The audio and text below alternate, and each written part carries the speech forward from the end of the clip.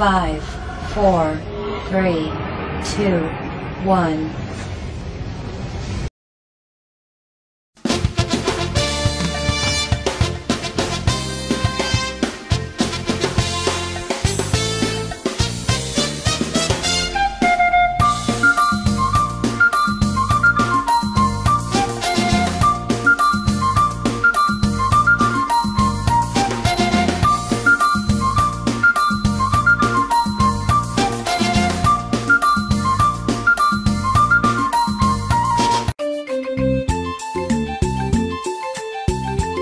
วัสดีค่ะน้องๆ น้องๆ คงเคยได้ยินคำว่า สำนวน สุภาษิต และคำพังเพย แล้วน้องๆ ทราบไหมคะว่า ทั้งสามคำนี้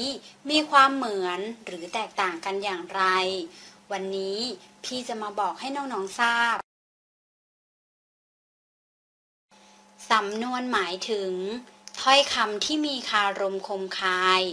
ความหมายไม่ตรงถ้อยคำ แต่เป็นที่เข้าใจกันแพร่หลาย กินใจผู้ฟัง สั้นและกระชับ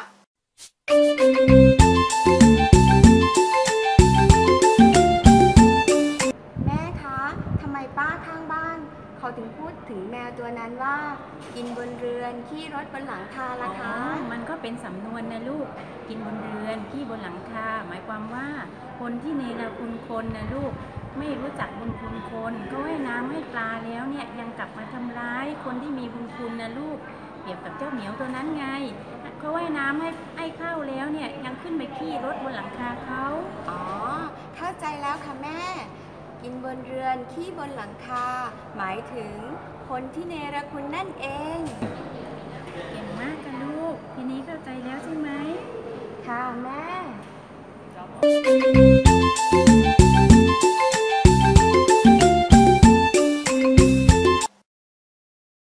ำนวนไทย จับปูใส่กระด้ง หมายถึง การที่คนคนหนึ่ง ดูแลเด็กเล็กๆ โดยพยายามให้อยู่นิ่งๆ หรือเป็นระเบียบ แต่เด็กก็ซุกซน ไม่ยอมอยู่นิ่ง จับปลาสองมือ หมายถึง การที่คนคนหนึ่งทำสิ่งที่ยากพร้อมๆกันทำให้ล้มเหลวทั้งสองสิ่ง สำนวนนี้ นิยมใช้กับผู้ชายที่เกี่ยวผู้หญิงสองคนในเวลาเดียวกัน ซึ่งผลสุดท้ายแล้ว ผู้ชายคนนั้นจะมีปัญหาตามมา สุภาษิตหมายถึง ถ้อยคำที่ดีงาม ให้ข้อคิด คติสอนใจ มีถ้อยคำคล้องจองกันหน่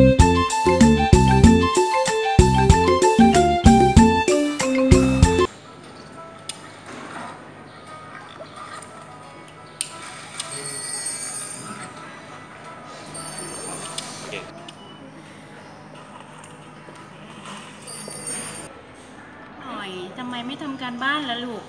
นิดหน่อยขอเล่นเกมก่อนได้ไหมคะแม่ การบ้านนิดหน่อยมีนิดเดียวเองค่ะ ไม่ได้นะลูก การบ้านนิดเดียว ถ้าเราไม่ทำเนี่ยมันจะสะสมเป็นดินพอกหางหมูเพิ่มขึ้นเรื่อยๆนะลูกไปทำการบ้านเดี๋ยวนี้เลยค่ะแม่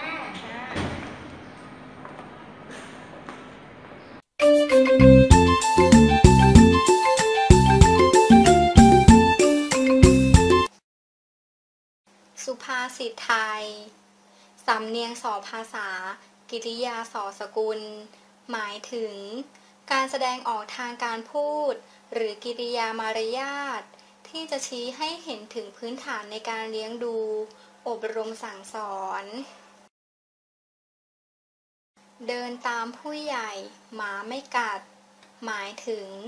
การทำตามหรือประพฤติเรียนแบบผู้ใหญ่ จะทำให้ปลอดภัย และไม่ผิดพลาด แกว่งเท้าหาเสี้ยน หมายถึง